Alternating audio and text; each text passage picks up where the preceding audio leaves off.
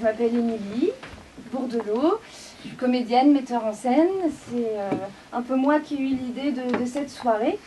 Et euh, j'ai beaucoup discuté avec mes collègues, sur mes collègues qui sont un petit peu là, un petit peu répartis partout. Euh, et on a constaté ensemble bah, que quand on était artiste, bah, parfois on se retrouvait un petit peu isolé, on se retrouvait tout seul, on ne savait pas trop quoi faire, comment travailler, qui aller voir.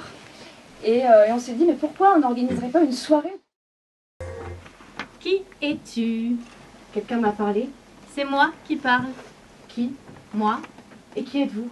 Toi Oh, ça m'étonnerait. Je sais très bien qui je suis et vous n'êtes pas moi. Sinon, je vous aurais reconnu. Oh oui, tu te trompes. Heureusement, tu ne peux pas tromper l'ennui. Et c'est là que j'entends scène. Ah Eh oui, c'est moi, l'ennui Alors ma belle, pourquoi me combattre? Il faut succomber à l'appel de la paresse! Stop! J'ai vraiment pas de chance, l'ennui même.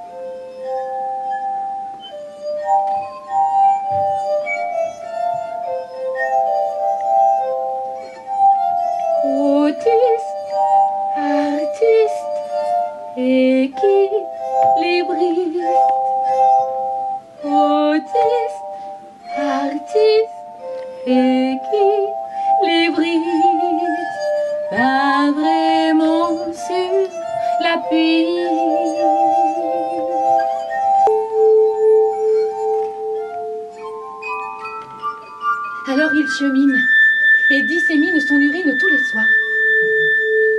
Chaque arbre devient son territoire, son terroir. Les rats ruminent sa durèse, cette routine est son assaise. Par libéré du corps, il souffre moins qu'il est là. Je sais qu'il attend son heure.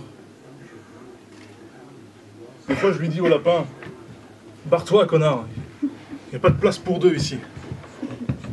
On se chamaille, on se fait la guerre. Souvent, il gagne. Et je crache. Un anonyme a un jour écrit à propos de sa propre rupture À chaque nouveau mouvement, un faux mouvement. Un pas de plus en direction du vide, en faisant face du mauvais côté.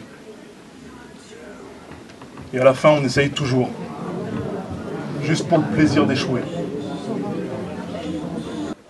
Mayakovsky, acteur. L'endurance phénoménale de Mayakovsky. Le poète doit manier son matériau avec le même savoir-faire que le soudeur d'acier. Mayakovsky est le théâtre.